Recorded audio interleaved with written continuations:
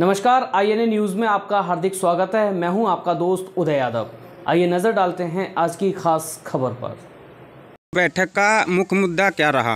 आज बैठक का मुख्य मुद्दा यही रहा कि बुढ़वल चीनी मिल क्षेत्र में बैठक हुई है। संघर्ष मोर्चा की जो क्षेत्रीय पदाधिकारियों और सामाजिक कार्यकर्ताओं ग्रामीण वासियों के साथ बैठक हुई है।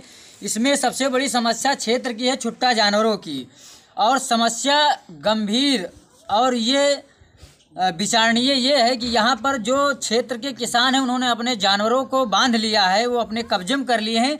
लेकिन क्षेत्र, इस क्षेत्र के जो दबंगों के द्वारा यहाँ पर गौशालाओं पे कब्जा कर लिया गया है और जो डेयरी हैं, उन पे दबंगों का कब्जा है।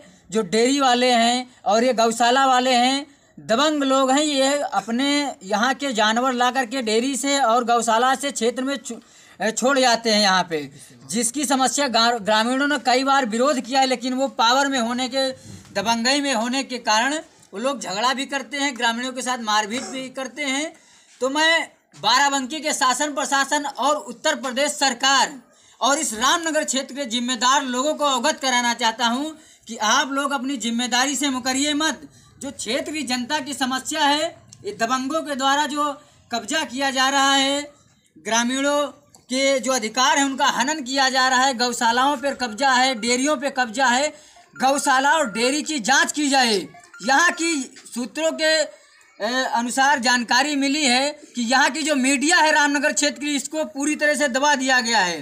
ग्रामीण कह रहे हमारी मीडिया हमारी आवाज़ नहीं उठा पा रही है। तो सीधे सरकार इस मामले पर संज्ञान ले, बाराबंकी शासन प्रशासन और उत्तर प्रदेश सरकार इसको गंभीरता से ले अन्यथा सरकार को इसको खामियाजना भुगतना पड़ेगा।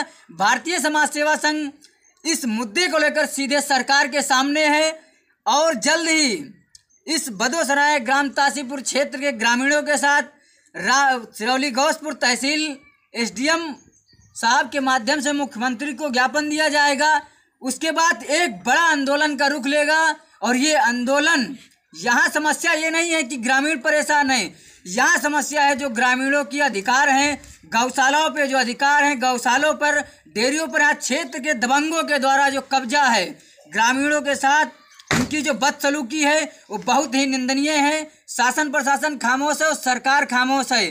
जल्द उत्तर प्रदेश सरकार इस मामले को संज्ञान ले, अन्यथा अग्रिम कार्यवाही के लिए भारतीय समाज सेवा संघ बाध्य होगा। जी, धन्यवाद।